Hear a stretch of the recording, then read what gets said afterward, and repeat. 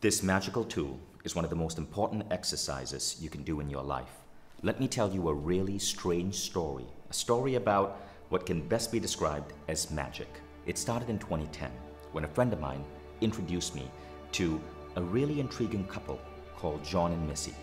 Jon and Missy are the creators of Lifebook, which many people say is the most advanced goal setting and manifesting program in the world. So in 2010, I found myself in Chicago going through a lifebook experience in the form of a seminar. One of the lifebook exercises was to get really crystal clear on the quality of the life you want to lead, to pretend as if the universe has your back and that any crazy dream you want could theoretically manifest. They asked you to look three to five years ahead and to write down what came from your soul. Now, what was really interesting is that in that moment, because you are so open, you're so confident, I wrote down some things which were pretty crazy, even though at that time I didn't have much money. I was living in a bedroom in my parents' house, and my little company, today known as Mindvalley, was just barely struggling by. But before I read you this list, one big caveat.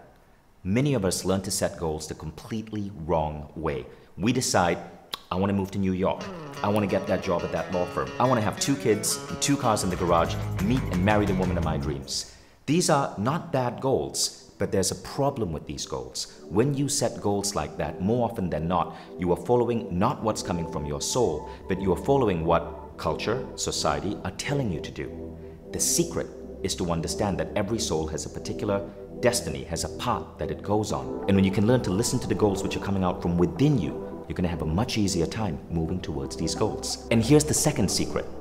Sometimes you do not want to be specific. Especially when you're thinking about goals in relation to the quality of your life, you want to be highly unspecific. You want to focus on the what and the why, not the how, not the when, not the who. More on this later. These are some of the crazy goals I put down. I wrote down I wanted to visit 100 countries. I wanted to have access to the most influential people in the world.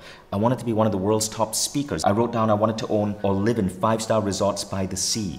I wanted to go on amazing fun adventure trips with brilliant people once a year. I wanted to live in luxury.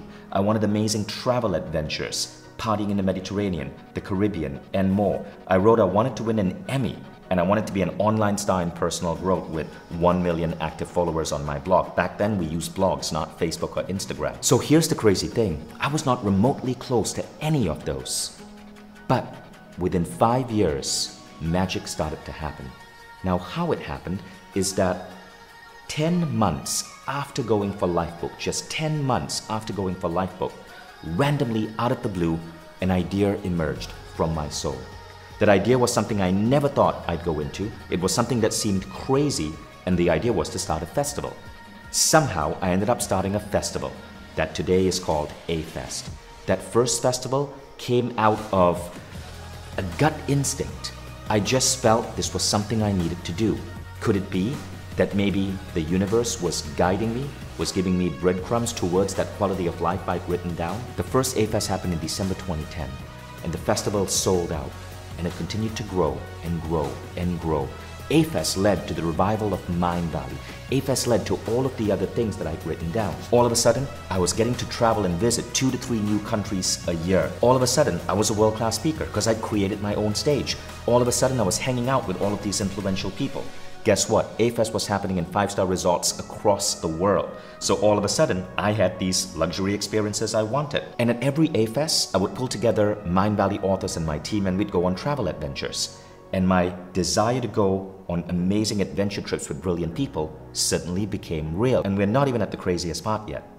AFest as a festival is not just about personal growth. We have the most amazing parties. All of a sudden, I was having parties exactly like I'd written down in the Mediterranean at the castle from Game of Thrones, in the Caribbean, in private islands. All of this because it was part of this new product that I'd created for the world. And I got to play within the context of this festival. But the funniest thing is this you see that goal, win an Emmy? I never thought I would possibly even figure out how to win an Emmy. But one day at AFest, a film director by the name of Nick Nanton shows up and creates a documentary on AFest. That documentary called Live Your Quest goes on to win an Emmy. And as the producer, I got an Emmy. How freaking cool is that?